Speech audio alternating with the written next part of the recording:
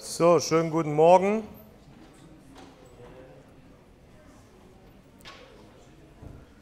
Wir machen weiter, wo wir letzte Woche Donnerstag aufgehört haben. Und zwar hatten wir uns die Ionisierungsenergie angeschaut. Und ja, bei diesem Diagramm hier waren wir stehen geblieben. Also Ionisierungsenergie, ähm, ja, was müssen Sie hier wissen? Sie müssen wissen erstmal, was das ist. Und zwar, es gibt äh, unterschiedliche Ionisierungsenergien, aber ganz allgemein, wenn Sie nämlich ein Teilchen A, also ein neutrales Teilchen, zu einem A plus oxidieren, also wenn Sie hier äh, oder deelektronieren, gibt es ja auch einige Professoren, die das inzwischen so sagen, also Sie entnehmen dem Teilchen ein Elektron und dann entsteht ein A plus Teilchen damit einher geht nämlich eine Energie. Ja? So, diese Energie, die ist immer, zumindest für alle Elemente, wie Sie hier sehen, ist das positiv. Also das Diagramm, was Sie hier sehen, das ist im Endeffekt, ähm, also auf der x-Achse sehen Sie aufgetragen jedes einzelne Element, also hier über Wasserstoff, Helium, Lithium, Beryllium, Bohr, Kohlenstoff, Stickstoff, Sauerstoff, Fluor und dann wieder Neon ja, und so weiter. Also Sie sehen hier schlussendlich von links nach rechts auf der x-Achse die einzelnen Elemente und auf der y-Achse sehen Sie eine Energie, hier aufgetragen in Elektronenvolt. Was Sie hier äh, wissen sollten, dass diese Energie hier stets positiv ist. Also selbst für ähm, Metalle, die sehr leicht ein Elektron abgeben, wie zum Beispiel haben wir in der letzten Stunde gesehen, Lithium, Natrium und Kalium, das ist spontan abgelaufen, die haben freiwillig in Verbindung mit Wasser, haben diese Elemente freiwillig ein Elektron abgegeben, sind also oxidiert, aber dennoch auch diese ähm, Metallionen haben eine positive Energie, also sprich, es muss erstmal Energie zugeführt werden, damit dieser Prozess stattfinden kann. Und wenn Sie dann genau hier aufpassen, wo Sie dann die Elemente hier finden, also während die Edelgase hier aufgezeichnet sind, sind die Elemente, die wir da letzte Woche ähm, uns im Experiment angeschaut haben, Lithium, Natrium und Kalium, die sind ja nicht gezeichnet, sondern da müssen Sie wissen, wo die sind. Und zwar ist das hier Lithium, das ist der äh, Punkt hier unten, das Minimum. Dann haben wir hier in der nächsten Periode Natrium, das ist hier unten. Und dann hier haben wir Kalium. Ja? Und ähm, letzte Woche hat jemand von Ihnen gefragt, wieso denn eigentlich äh, das Kalium deutlich schneller und deutlich heftiger reagiert hat als das Natrium und auch als das Lithium, wieso es da diese Reaktionsabfolge gab, da war ich mir selber ein bisschen unsicher. Ich hatte das ein bisschen verwechselt mit der elektrochemischen Spannungsreihe, wo nämlich Lithium das niedrigste Potenzial ist. Das werden wir uns in ein paar Wochen anschauen. Aber auf jeden Fall, das, was ich Ihnen geschuldet habe, war die Erklärung und vielleicht haben Sie das auch inzwischen Zeit nachgeschlagen. Man erklärt es so und es klingt schon auch plausibel, ähm, dass es schlussendlich mit, der größeren, mit, mit dem größeren Radius und schlussendlich mit den deutlich mehr Elektronen zu tun hat. Ja, also wenn Sie sich jetzt vorstellen, Sie haben jetzt halt hier so ein Kaliumatom äh, und dieses Kaliumatom hat die Ordnungszahl 19, also sprich wir haben 19 Protonen im Kalium ja, und folglich haben wir auch 19 Elektronen und wenn Sie jetzt von diesen 19 Elektronen nur ein einziges entfernen, bedarf es offenbar eine deutlich geringere Energie im Vergleich zu Natrium und auch Lithium. Ja, also das macht quasi dem, ja, den Braten nicht mehr fetter, wenn man so will. Also schlussendlich, oder es ist eine deutlich geringere Energie nötig, um dem ähm, zu entnehmen. Und das sehen Sie auch gewissermaßen hier in dieser Abbildung. Wenn Sie jetzt hier vergleichen zwischen Lithium, Natrium und Kalium, es ist zwar nicht viel, aber es ist geringfügig ein bisschen niedriger. Also, und diese Differenz, die Sie hier sehen, eigentlich, also während also Lithium ist etwas über 5, ähm, Natrium sieht so aus, als wäre es genau auf 5 und äh, Kalium ist etwas unter 5. Und diese geringe Differenz führt offenbar dazu, zu dieser Reaktivitätsänderung, die Sie gesehen haben. Zumindest ist es die Erklärung, die ich in Büchern gefunden habe, wie man das erklärt. Ähm, eine weitere Sache, die äh, mir persönlich aufgefallen ist, die ich jetzt aber nicht als Erklärung dafür gesehen habe, sind, wenn Sie die Schmelzpunkte und die Siedepunkte der Metalle vergleichen. Ja, also Lithium, Natrium und Kalium, diese drei Metalle, die können nämlich auch schmelzen ab einer gewissen Temperatur, können Sie ja gerne nachschlagen, bei Wikipedia finden Sie diese Werte. Und sie schmelzen nicht nur, sondern sie verdampfen auch. Und wenn Sie diese drei, ähm, ja, sowohl die Schmelzpunkte als auch die ähm, Dampf, äh, also die, die, die ähm, äh, Dampfpunkte halt eben mal anschauen, also bei welcher Temperatur sie tatsächlich gasförmig vorliegen, dann stellen Sie fest, dass es nämlich mit Kalium ähm, deutlich niedrigeren Schmelzpunkt hat im Vergleich zu Natrium und Lithium. Und da würde ich auch sagen, wenn man sich den Versuch von letzter Woche mal überlegt, was da passiert ist, dass dann nämlich schlussendlich eine exotherme Reaktion erfolgt, wo dann auch eine Gasentwicklung ist, dann kann es halt schon sein, dass das Kalium möglicherweise vielleicht schon partiell sogar teilweise gasförmig vorliegt. Also das wäre eine weitere Erklärung, die mir persönlich eingefallen ist, wie man das erklären könnte, aber die offizielle Lesart ist wie gesagt, dass es hier ähm, ja, diese Ionisierungs, mit dieser Ionisierungsenergie zu, äh, zusammenhängt. Ähm, äh, worauf ich Sie allerdings eigentlich auch sensibilisieren will, es ist in der Chemie ganz, ganz selten, also so gut wie fast nie der Fall, dass man basierend auf solchen Experimenten, übrigens das sind keine berechneten, sondern es sind experimentelle Werte, die Sie hier sehen. Es gibt, wir können jetzt nicht darauf eingehen, wie man das ähm, bestimmt, aber schlussendlich sind es irgendwelche physikochemischen Methoden, mit denen man diese Werte hier bestimmen kann. Und es ist in der Chemie selten so, dass man jetzt basierend auf irgendwelchen Experimenten, die man macht oder irgendwelchen Daten, die man erhebt, Schlussfolgerungen auf andere Experimente schließen kann. Man hat häufig irgendwelche kinetische Hemmungen, werden wir noch anschauen, bei Sauerstoff zum Beispiel, oder irgendwelche anderen Effekte, die ziemlich schwer vorherzusagen sind und schlussendlich muss man das Experiment immer wieder oder wiederholen, um sich das anzuschauen, wie ist das jetzt. Also damit meine ich konkret Lithium, Natrium und Kalium in Wasser ich bin nicht sicher, ob da irgendjemand tatsächlich vor, äh, wenn er sich nur das Periodensystem angeschaut hätte, ob er da richtig die Vorhersage machen könnte. Also ich bin der Meinung, man muss es tatsächlich immer wieder im Experiment ähm, ja, bestätigen. Eigentlich, ja. Okay, weitere Trends, ähm, die wir hier entnehmen können. Sie sehen, innerhalb einer Periode haben wir eine steigende Ionisierungsenergie.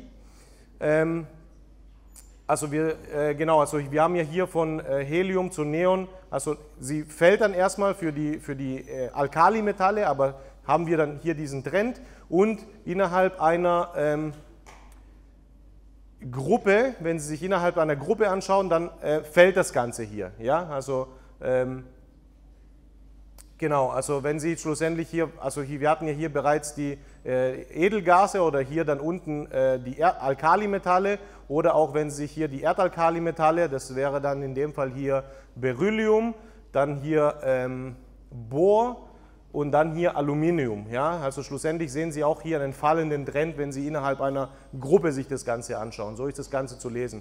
Dann weiterhin äh, vermerkt, es gibt natürlich auch ähm, ja, mehrfache oder zweite und dritte Ionisierungsenergie, also wenn Sie entsprechend A2 plus oder A3 plus äh, generieren. Damit wollen wir uns jetzt aber nicht weiter beschäftigen, äh, würde zu weit führen. Das sind tatsächlich irgendwie physikochemische Eigenschaften, die man da weiterhin ähm, genau untersuchen könnte. Ähm, wieso gibt es hier manchmal solche lokale Minimas? Die sehen Sie hier. Das hat damit zu tun, wenn Sie die Elektronenkonfiguration da mal aufschreiben, werden Sie feststellen, es gibt manchmal halbbesetzte Orbitale und diese halbbesetzten Orbitale können Sie ja mal zur Übung so, mal machen, wenn Sie zum Beispiel hier für äh, Lithium, Beryllium, für Bohr, wenn Sie für Bohr mal die Elektronenkonfiguration von Bohr plus mal aufschreiben, dann werden Sie feststellen, dass es tatsächlich da gewisse Symmetrien gibt und diese Symmetrien, die führen halt hier zu so lokalen Minima. Okay, schauen wir uns jetzt eine weitere wichtige Kenngröße an, ähm, und zwar die Elektronenaffinität. Was versteht man unter Elektronenaffinität? Das ist der Prozess, wenn jetzt nicht ein Elektron entzogen wird, sondern wenn aus einem neutralen Teilchen, aus einem neutralen Atom ein Elektron zugeführt wird. Ja, also, oder auch, wir werden sehen, das nennt man eine Reduktion oder äh, eine Elektronenaufnahme. Ja? Und wenn dann entsprechend die Elektronenaufnahme zu einem ähm, ja, Anion hier erfolgt, ja? also ein negativ geladenes Teilchen, was haben wir jetzt hier für Gesetzmäßigkeiten oder ja, was für wie ist da der experimentelle Befund? Also allgemein charakteristisch ist jetzt erstmal, dass wir nicht nur positive Werte haben, sondern wir haben sowohl positive Werte als auch negative Werte, das ist das eine. Sprich, wir haben also offenbar gewisse Elemente, die geben Energie frei. Ja, also wir haben exotherme Prozesse, wenn sie ein Elektron anlagern und wir haben gewisse Elemente, die, geben, die brauchen Energie, um ähm, entsprechend Elektronen aufzunehmen. Ähm, das Diagramm ist natürlich wieder gleich zu lesen. Wir haben hier auf der x-Achse die Elemente, also hier Wasserstoff, Helium und so weiter, wenn Sie die also in steigender Ordnungszahl, also Kernladungszahl und hier die entsprechende Energie, wobei, wie gesagt, hier zu vermerken ist, wir haben hier sowohl einen negativen Bereich als auch einen, negativ, als auch einen positiven Bereich. Ja, die Trends sind nicht ganz so eindeutig oder beziehungsweise nicht ganz so äh, monoton wie die, wie die jetzt hier. Also hier sieht man bei der Ionisierungsenergie sah das ja irgendwie ein bisschen hübscher aus. Hier haben wir offenbar äh, andere Gesetzmäßigkeiten oder andere ähm, ja, Effekte. Das, was man allerdings hier sieht, Sie sehen hier das, das, diese Minima hier, was wir hier in der ersten Periode, zweite Periode, dritte Periode haben. Wir haben hier ein Minimum, hier ein Minimum und hier ein Minimum. Und wenn Sie das mal durchzählen, werden Sie feststellen, das sind die sogenannten Halogene. Ja? Also wir haben in diesem Minimum hier Fluor, Chlor und Brom. Ähm, genau. Äh, ja, ich denke, arg viel mehr gibt es jetzt dazu nicht unbedingt zu sagen, aber das können Sie eigentlich auch mal anschauen und sich das mal genau einfach mal überlegen ähm, oder dass Sie da ein bisschen ein Gefühl dafür bekommen, welche Energie ist denn notwendig oder wird freigesetzt, um ein Atom zu, einfach zu reduzieren.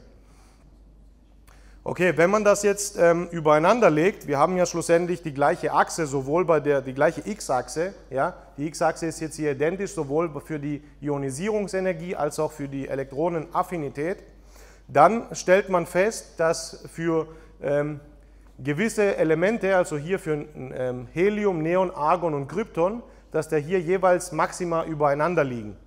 Ja, und dass da Maxima übereinander liegen, das führt zu einem zu, zu, zu, zu einer Beobachtung und schlussendlich zu, ähm, ja, zu einem Phänomen, was Sie dann wahrscheinlich auch kennen. Ähm, das ist die sogenannte Edelgaskonfiguration. Und wenn Sie sich jetzt hier anschauen, was haben nämlich diese Elemente alle hier gemeinsam?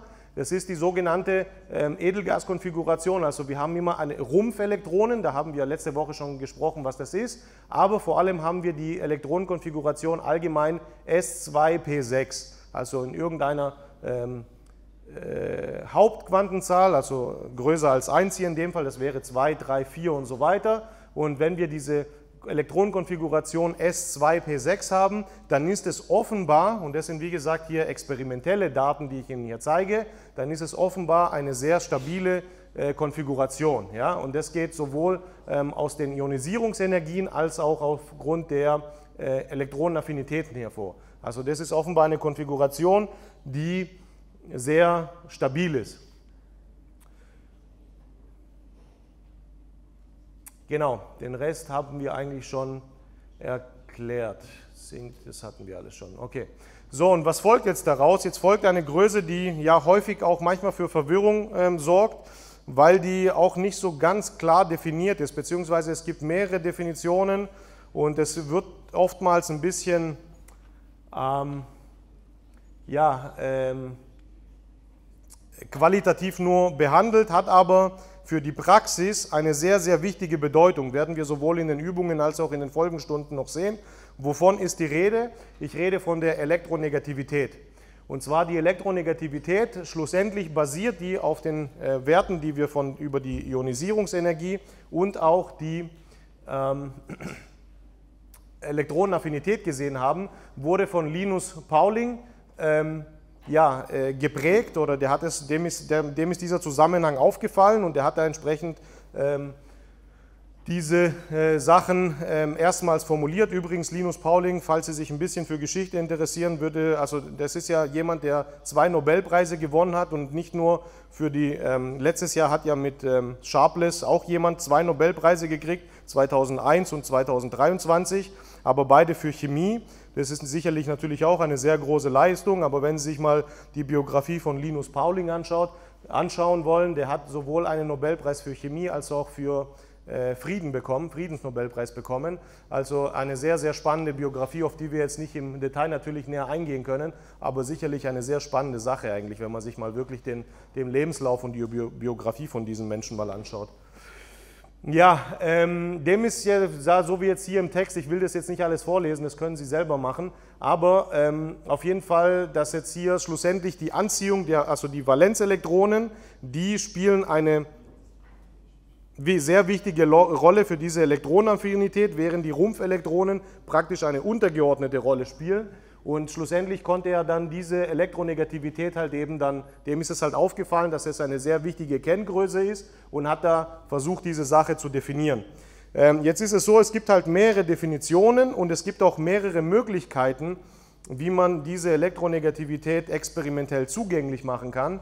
Und das führt auch häufig ein bisschen insofern zur Verwirrung, weil es manchmal nicht ganz so eindeutig ist, ja, was soll das Ganze überhaupt, hat, aber in der Praxis, wie gesagt, eine sehr elementare Bedeutung. Also ähm, als Naturwissenschaftler diskutiert man ständig mit Elektronegativitäten.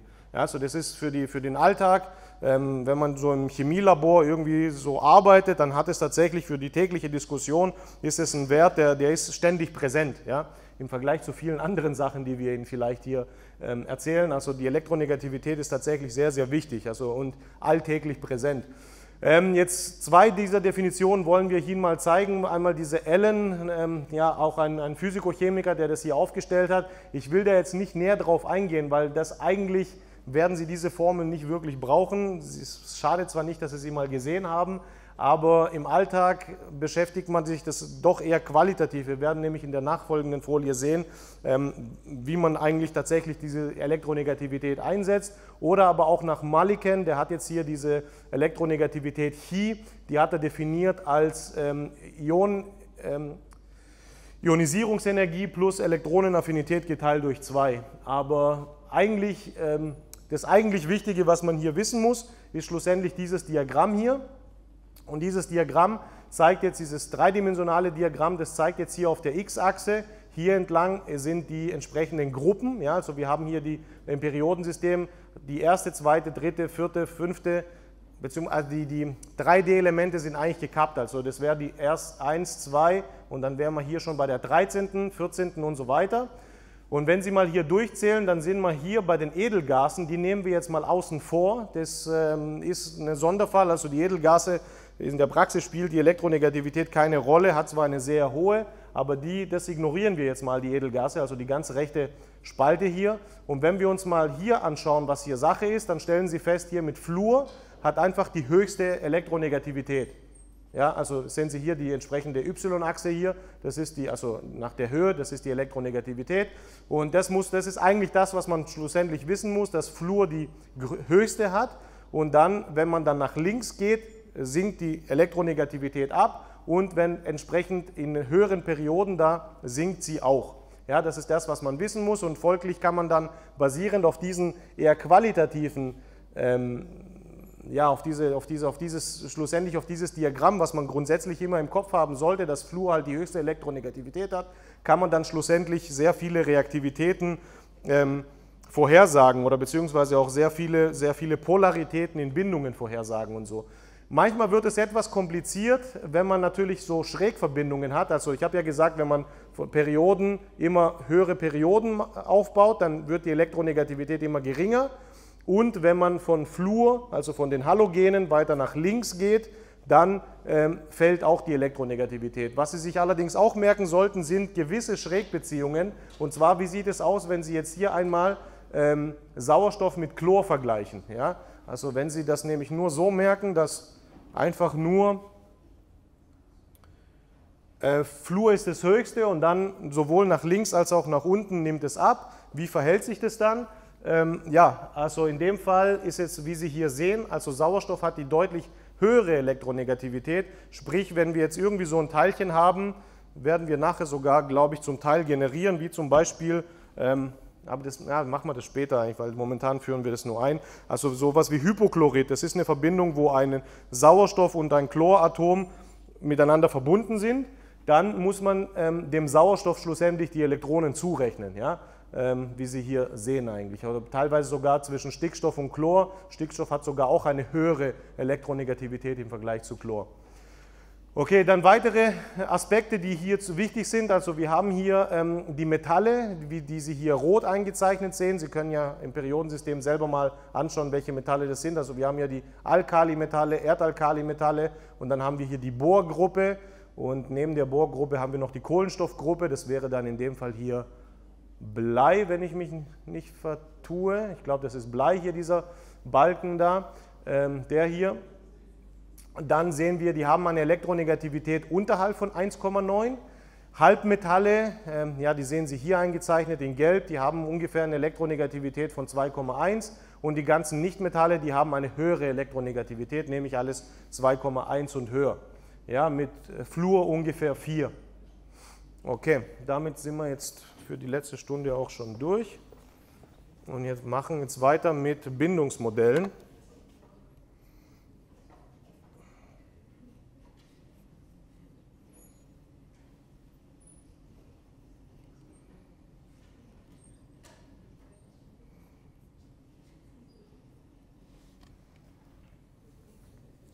Also, wir haben jetzt uns das Periodensystem angeschaut und schlussendlich ein bisschen angefangen zu sortieren und zu ordnen. Was sind denn überhaupt Atome und wie kommt ähm, Materie zustande und wie funktioniert das alles und haben uns basierend auf der Schrödinger-Gleichung auch angeschaut, wie, ähm, ja, welche Energieniveaus äh, schlussendlich Atome haben, haben uns vor allem gesehen, dass da Kontinu Kontinuum herrscht, kein Energiekontinuum, sondern dass wir da nur diskrete Energieniveaus haben. Und jetzt ist es ja so, wenn wir nur Elemente hätten, wäre es ja eigentlich ziemlich langweilig. Ja? Also wir könnten schlussendlich die Umwelt und auch unser ganzes Universum und uns selber, das wäre eigentlich nicht vorstellbar, wenn wir nur Elemente hätten, sondern diese Elemente müssen in irgendeiner Form miteinander interagieren. Und die Art und Weise, wie Elemente miteinander interagieren, das bezeichnet man allgemein als chemische Bindung. Ja, also die können Bindungen eingehen, Bindungen können dann wieder brechen und schlussendlich ist eigentlich jegliche Chemie hat immer was mit Atomen, mit der, mit der dreidimensionalen Anordnung von Atomen zu tun und deren Anlagerung und deren Umordnung. Ja? Also das bedeutet im Endeffekt Chemie. Also man macht da eigentlich nichts anderes groß, ja? dass man ständig eigentlich Atome neu anordnet und folglich, wenn man die neu anordnet, dann müssen irgendwelche Bindungen geknüpft und auch Bindungen gebrochen werden. Und ähm, ja, diese Bindungen, die unterteilt man in gewissen, ähm, in gewissen Klassen. Das werden wir uns jetzt anschauen, darum geht es heute. Ähm, was ich Ihnen allerdings mitgeben will, das sind alles, also einerseits beruht es auf Experimenten, das, was man jetzt alles ähm, ja, sich aufbaut und die Theorie, die man darauf aufgebaut hat oder die, man, die Theorie, die man da auch entwickelt hat, die Modelle, die man da entwickelt hat, aber das geht natürlich auch immer einher mit ähm, Experimenten und zwar mit phänomenologischen Eigenschaften. Ja? Also äh, werden wir jetzt, ja, denke ich, noch ähm, zu sprechen kommen. Also, unter was versteht man unter einer chemischen Bindung? Wie bereits erklärt, es sind ähm, also, dass man größere Verbände wie zum Beispiel Moleküle oder auch Komplexe, äh, werden wir vor allem im Praktikum äh, zu sprechen kommen. Was sind überhaupt äh, Koordinationsverbindungen oder Komplexe? Über Moleküle haben wir schon gesprochen. Dann metallische äh, Bindungen werden wir uns doch auch noch anschauen und salzartige Festkörperbindungen, die werden wir Ihnen heute im Experiment heute noch zeigen. Wir werden nämlich jetzt gleich ähm, Natriumchlorid und auch Magnesiumoxid aus den Elementen herstellen und uns dann auch anschauen, welche Folge das Ganze für, ähm, ja, welche phänomenologische Eigenschaften sowas mit sich bringt. Ähm, dann wichtig ist natürlich auch zu wissen, in der Chemie, wie ich bereits erklärt habe, man ähm, knüpft ja nicht nur Bindungen, sondern das Ganze ist eigentlich so ein ständiger Wechsel. Also gerade das Leben ist eigentlich chemisch gesehen eher ein Fließdiagramm. Und das bedeutet also, dass immer wieder Bindungen nicht nur neu geknüpft, sondern auch gebrochen werden müssen. Ja, das passiert ständig. Das ist der ständige Kreislauf. Es werden Bindungen immer wieder äh, gebunden und ähm, wieder äh, gebrochen. Ja? Und wie funktioniert sowas, also dass sowas gebrochen wird. Das kann zum Beispiel mit elektromagnetischer Strahlung kann das gebrochen werden. Das braucht in der Regel aber Energiezufuhr. In irgendeiner Form muss man da aktiv handeln. Ja? Und ja, das, diesen, dieses Meme, das habe ich letztens auf Twitter mal gesehen, das fand ich eigentlich ganz passend, weil schlussendlich, ähm, ja, also Chemist, natürlich Chemiker sind, ähm, nicht nur Chemiker, sondern alle Menschen, das sind im Endeffekt nur viele Atome, die über Atome reden. Ja? Also ähm, genau, ist halt, ist halt einfach so. So, jetzt schauen wir uns ein paar Bindungen an. Das, also warum die chemische Bindung wichtig ist, ich glaube, das habe ich schon erklärt, das können wir überspringen. So, ähm, also was gibt es jetzt für Bindungen? Wie kann man die einordnen? Ja? Wir haben einmal eine sogenannte kovalente oder homopolare Bindung. Ähm, Beispiele werden wir uns noch anschauen. Das hat man aber überwiegend dann, wenn wir ähm, ähnliche, eine Bindung haben zwischen Partnern ähnlicher Elektronegativität. Werden wir uns noch anschauen. Ja, Elektronegativität bereits eingeführt, jetzt geht es hier Schlag auf Schlag schon weiter. Hier brauchen Sie das bereits, um ähm, das verstehen zu können. Dann haben wir so ionische oder heteropolare Bindungen, werden wir uns auch noch anschauen, was das Ganze ist. Und dann haben wir so metallische Bindungen. Ja? Also das äh, metallische Bindung, ähm, sowas wie zum Beispiel elektrische Leitfähigkeit und all die Eigenschaften, die damit einhergehen.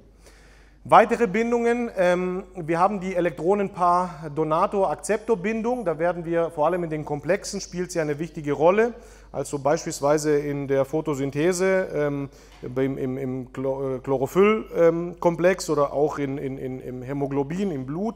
Da spielt es auch eine wichtige Rolle, aber wir werden da vor allem auch im Praktikum, werden Sie mit EDTA und weiteren äh, Komplex-Chelatbildnern werden Sie damit zu tun haben und da werden wir uns das äh, etwas näher anschauen, was es damit hat. Dativ bedeutet hier in dem Fall, dass es eine Elektronenpaar Donor- und Elektronenpaar Akzeptorbindung ist ähm, kommt aber alles noch. Und dann haben wir die Wasserstoffbrückenbindung, auf die werden wir auch noch in zukünftig ähm, sehr detailliert eingehen. So, wie kann man sich das Ganze jetzt vorstellen? Wir haben jetzt ähm, ja, so die Atombindung oder auch kovalente Bindung. Da kann man sich das Ganze so vorstellen, dass keine oder nur eine kleine Elektronegativitätsdifferenz, wie ich gesagt habe, äh, vorherrscht und dass wir also zwischen den zwei Atomkernen, die sind hier als schwarze Punkte dargestellt, dass wir hier so eine Art Wolke haben und diese kovalente Bindung, ähm, also die ist, der ist gemeinsam, dass jetzt die Elektronen hier, ähm, ja, dass sie, dass, sie da, dass sie da delokalisiert oder dass schlussendlich die Elektronenwolke hier getauscht wird mit zwei ähm, Kernen. Ja? Ähm, das kennen Sie bereits, also wir hatten solche äh, diese Art der Bindung ist zum Beispiel für Fluor, für Chlor, ähm, also F2-Molekül oder Cl2-Molekül oder auch O2-Molekül. Also da haben wir die gleiche Elektronegativität, ähm, aber eben unter ähm, die gleiche Elektronegativität, genau, und eine typische kovalente Bindung. Weitere kovalente Bindungen kennen Sie wie zum Beispiel Ethan. Also wenn wir Sie jetzt mal hier einfach so Ethan anschauen, dann sieht das Ganze ja so aus, CH3, CH3 und hier haben wir schlussendlich zwei Bindungspartner mit der gleichen Elektronegativität, Kohlenstoff, Kohlenstoff und das wäre zum Beispiel jetzt hier auch so eine Bindung. Ähm, wir haben allerdings auch nicht nur komplett ähm, äh, komplett ähm, kovalente Bindungen, sondern zum Beispiel über das Hypochlorid hatten wir ja schon gesprochen. Und wenn wir uns das Hypochlorid mal anschauen, dann stellen wir fest, wir können auch eine kovalente Bindung zwischen einem Sauerstoff und einem Chloratom hier schlussendlich so formulieren. Also das ist das Hypochloridteilchen, wie gesagt. Und ähm, hier wäre es in dem Fall so, dass die Bindung leicht polarisiert ist. Ja, Sie sehen hier auch die Bezeichnung da oben auf der ähm, Titelfolie da. Ähm, idealtypische ähm, Bindungsarten. Das impliziert also, ähm, es gibt nicht nur diese idealtypische, sondern es gibt manchmal auch irgendwie was dazwischen. Also äh, die Ionenbindung wäre hier in dem Fall, dass es tatsächlich komplett getrennt ist, also dass die Elektronen ähm, nicht interagieren zwischen den zwei Kernen. Ähm, werden wir uns jetzt hier gleich bei Natriumchlorid anschauen.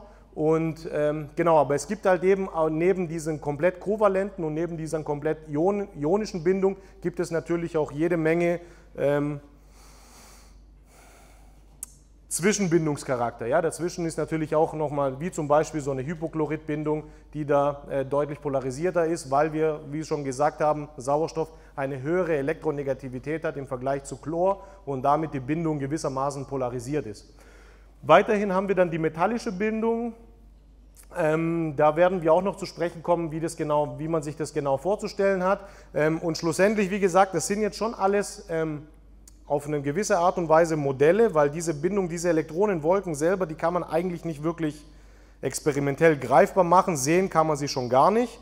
Es gibt ein paar Experimente, womit man, also gerade vielleicht ähm, Elektronen- oder vielleicht Neutronenbeugung, womit man das vielleicht indirekt irgendwie sichtbar machen kann. Aber de facto ist es eigentlich so, dass man Folgeexperimente macht. Was, man, was ich damit meine, werden wir jetzt gleich sehen. Ähm, und darauf basierend dann solche zu solchen Vorstellungen kommt. Also es ist jetzt ein bisschen schwer zu sagen, ja, es ist jetzt so, sondern es gibt halt einfach ziemlich viele Folgeexperimente, die man dann macht und irgendwie muss man dann die Welt oder die Experimente, die man da beobachtet, erklären und das sind die entsprechenden Modelle, diese Bindungsarten, die Sie hier dann schlussendlich sehen, zu denen man gekommen ist. Okay, dann ein wichtiger Aspekt in dem Zusammenhang ist natürlich, ähm, also die, äh, nach Lewis auch ein äh, Physikochemiker, ein amerikanischer Physikochemiker, der das, ähm, die sogenannten Lewis-Schreibweisen entwickelt hat und auch den Begriff der Valenz ähm, geprägt hat.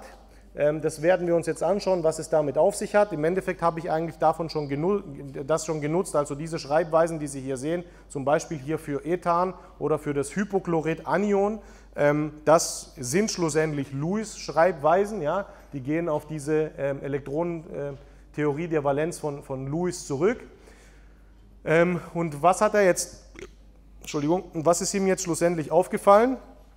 Ihm ist aufgefallen, dass nämlich solche Bindungen dann zustande kommen, vor allem wenn ähm, Atome sich so anordnen können, dass eine, zumindest lokal gesehen, eine Edelgaskonfiguration folgen kann. Ja? Also dass dann schlussendlich hier ein Rumpf, also wenn Sie sich jetzt hier sowohl, können Sie ja mal hier zum, zum Spaß mal machen, wenn Sie sowohl hier beim Hypochlorid als auch zum Beispiel jetzt hier beim, beim, ähm, beim ähm, Ethan, wenn Sie da mal richtig die Elektronen zählen, das werden wir noch in den folgenden Stunden noch zu Genüge tun, dann werden Sie feststellen, dass Sie lokal eine sogenannte Edelgaskonfiguration haben, also wenn, je nachdem, wie Sie die Elektronen verteilen, und dass dann folglich ähm, besonders stabile Moleküle oder besonders stabile Anordnungen folgen. Das ist ihm halt aufgefallen und daraufhin basierend hat er dann sowohl die Edelgaskonfiguration als aber vor allem die Oktettregel eingeführt also die Oktettregel, mit der, mit der man dann äh, besonders stabile Moleküle bzw. Umgebungen von ähm, oder Anordnungen von Atomen vorhersagen kann. Ja, was dann alles zugänglich sein müsste. Oder im Umkehrschluss, man könnte auch Anordnungen vorhersagen, die auch sehr instabil wären, also die sich leicht oxidieren ließen oder leicht reduzieren ließen, wenn man dann entsprechend halt diese Oktettregel erfüllt. Ja? Also es müsste dann damit es was halbwegs Stabiles ist, müsste die Umgebung immer diese Elektronenkonfiguration S2P6 aufweisen. Genau, das war in erster Linie mal eine Hypothese, hat sich aber bis heute bewahrheitet und wird tatsächlich auch im Alltag sehr häufig genutzt. Ähm, okay, was meint man jetzt damit? Ich glaube, lassen wir mal ganz, okay, das ist die nächste Folie, machen wir das Experiment. Also, ähm, wir meinen jetzt damit zum Beispiel, wenn wir jetzt ähm, solche ähm, Valenzstrichformeln zeichnen, dann, ähm, also wir hatten ja bereits, das will ich jetzt eigentlich nicht unbedingt an der Tafel, ich nehme mal, ne, das mache ich nicht an der Tafel. Ähm, wir haben uns ja bereits angeschaut, gerade so ein Natriumatom, ja, ein ähm, e-, elementares Natrium, das hat ja in einem s-Orbital ein Elektron und das, wenn man das jetzt hier symbolisiert mit einem Punkt, ähm, dann würde das hier so aussehen. Während das Fluoratom haben wir äh, auch gestern in der Übung gesehen, das hat die Elektronenkonfiguration S2P5. Ja, und S2P5, das schreibe ich vielleicht tatsächlich mal auf.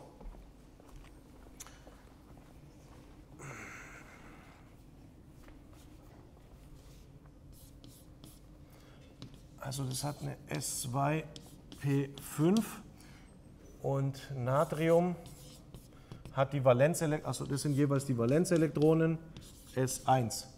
So, und wenn sich jetzt solche Verbindungen ähm, zusammentun sollten oder irgendwie in irgendeiner Form zu einem stabileren Zustand oder zu einem Energieminimum ähm, reagieren sollten, dann gemäß der ähm, Regel oder beziehungsweise die, dieser Beobachtung nach Lewis, dieser Oktettregel, die er hier aufgestellt hat, müsste es eigentlich möglicherweise diese S2P6 und wie könnte diese S2P6 ähm, aufgebaut werden, indem man zum Beispiel von dem Natrium ein Elektron aufnimmt, dann hätte das Fluor, würde dann zum Fluorid reduziert werden und es hätte eine S2P6 ähm, äh, Konfiguration, was dann schlussendlich werden wir sehen, dann auch hier ähm, passiert. Ja, die Tatsache, ich nehme mal an, das dürfte Ihnen allen bekannt sein. Also ob Sie jetzt hier zwei solche Pünktchen hinmalen ja, oder ein Strich, das ist, denke ich mal, allen bekannt eigentlich. Ne? Das ist im Endeffekt ein Strich, ist halt einfach, sind zwei Elektronen.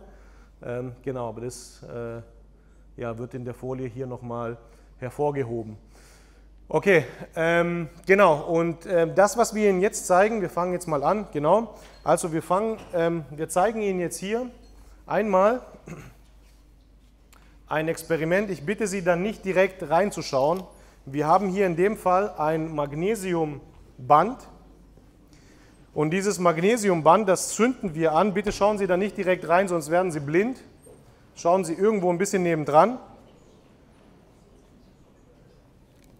Und dieses Magnesiumband, das leuchtet, oder das, nachdem wir das angezündet haben, leuchtet es ziemlich hell.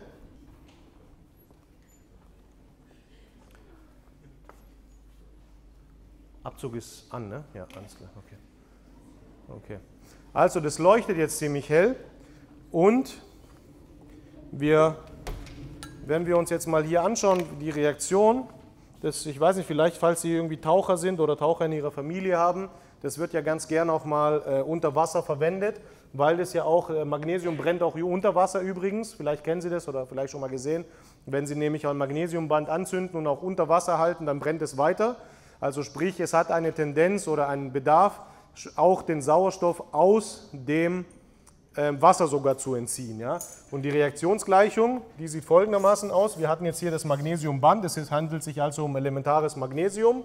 Und wenn wir das Ganze mit Sauerstoff anzünden, dann entsteht einfach gemäß der Stöchiometrie MgO. Ja?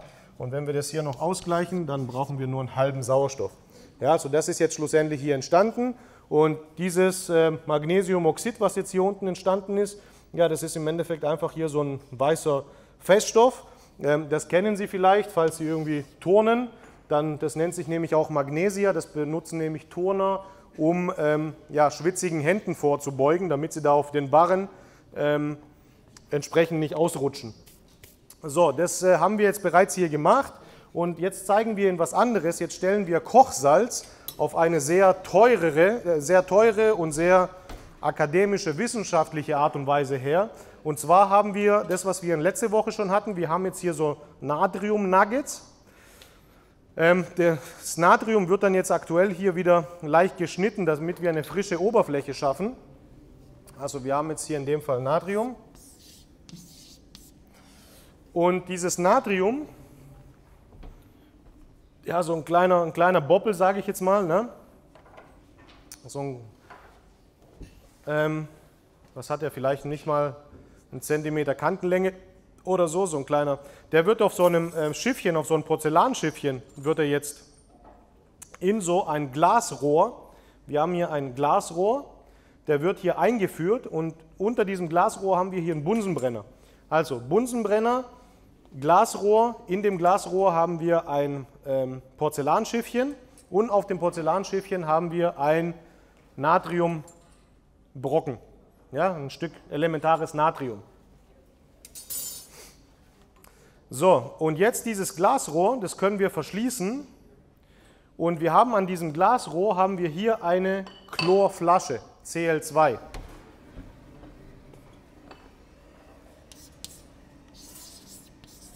Wir haben hier Chlorgas.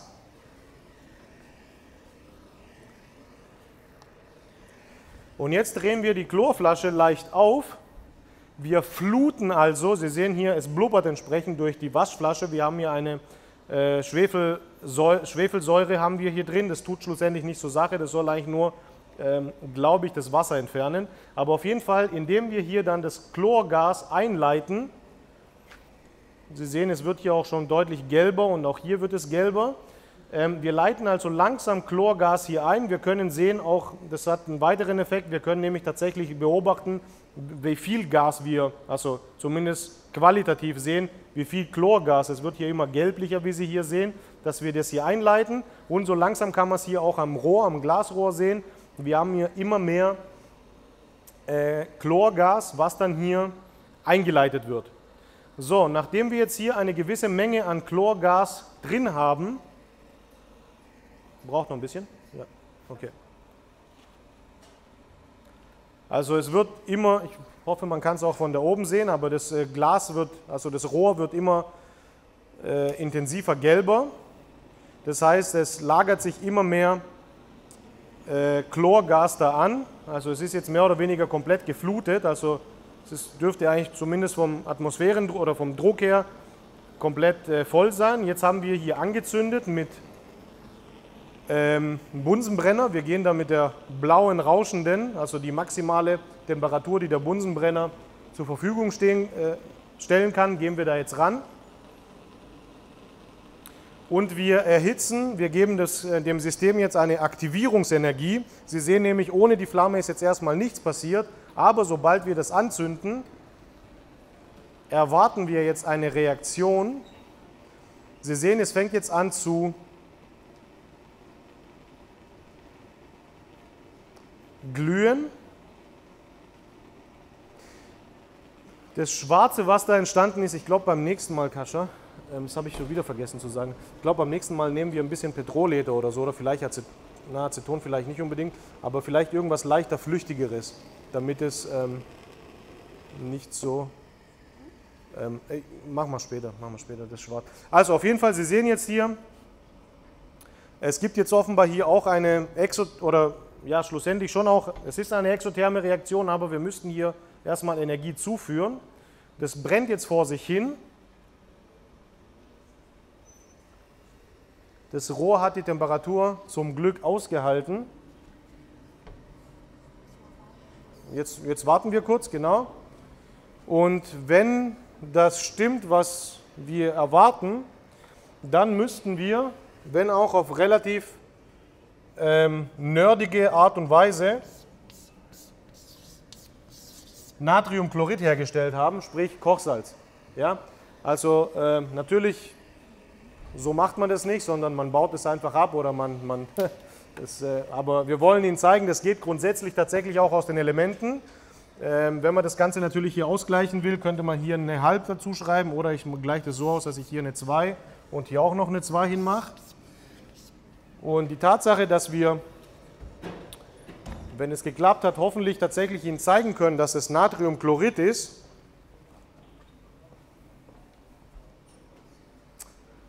Da haben wir jetzt noch äh, ein weiteres Experiment hier vorbereitet. Wir werden jetzt, sobald sich das abgekühlt hat, werden wir das Schiffchen hier, hier halten, oder?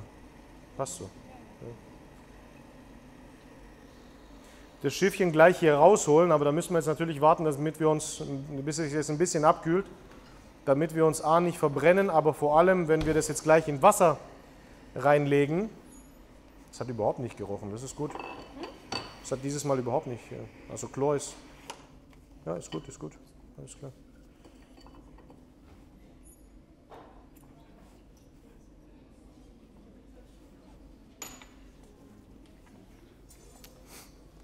So, jetzt nehmen wir das Schiffchen raus.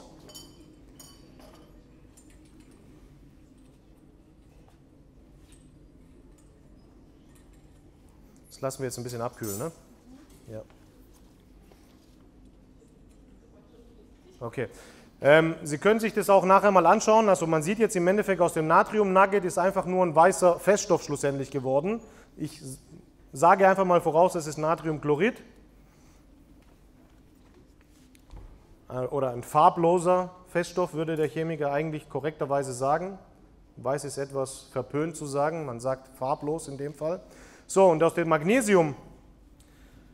Magnesiumoxid, was wir hergestellt haben, ja, das ist auch die Reaktionsgleichung des Produkts auf der rechten Tafelseite, da haben wir jetzt hier ein weiteres Experiment vorbereitet. Und zwar haben wir hier demineralisiertes Wasser, also im Endeffekt einfach nur ähm, ja, ziemlich reines Wasser ohne irgendwelche Ionen. Und wir können jetzt hier eine ähm, Brücke oder beziehungsweise einen Kontakt. Schlussendlich haben wir hier ein, ein Stromgerät. Und dieses Stromgerät hat dann hier, wie Sie hier sehen, über zwei, über diese Brücke hier, kann es dann nur leiten, den Strom leiten, wenn entsprechend die Lösung leitend ist. Und das, was Sie hier sehen, wenn wir das hier eintauchen, dann sehen Sie, das demineralisierte Wasser bringt die Glühbirne nicht zum Leuchten. Natürlich könnte die Glühbirne auch defekt sein, aber wir werden uns jetzt mal hier anschauen, ähm, was jetzt hier schlussendlich passiert. Also mit dem demineralisierten Wasser konnten wir schlussendlich, wie Sie gesehen haben, die Lampe nicht zum Leuchten bringen. Jetzt machen wir Magnesiumoxid einfach mal rein. Wir rühren das Ganze auch ein wenig, damit wir eine, wenn auch ähm, halbwegs homogene, natürlich ist es ein heterogenes Gemisch, wie wir gelernt haben, aber ähm, wir sehen jetzt, wir schalten jetzt wieder auf, wo sind wir, 50, sind wir 50, sind es 50 Volt oder was? ah ne, es sind äh, 10, 12, 12 Volt sind wir ungefähr, 15 Volt. Sie sehen, das Lämpchen leuchtet immer noch nicht, obwohl wir Magnesiumoxid hinzugegeben haben. Und jetzt versuchen wir das Ganze mal mit dem äh, Natriumchlorid zu wiederholen. Wir nehmen jetzt ein frisches Becherglas, wieder mit demineralisiertem Wasser, halten dann wieder die Brücke rein, hier nicht heiß,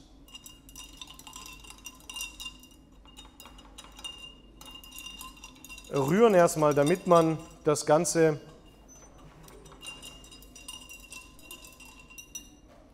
entsprechend in Wasser löst. Und wenn wir jetzt die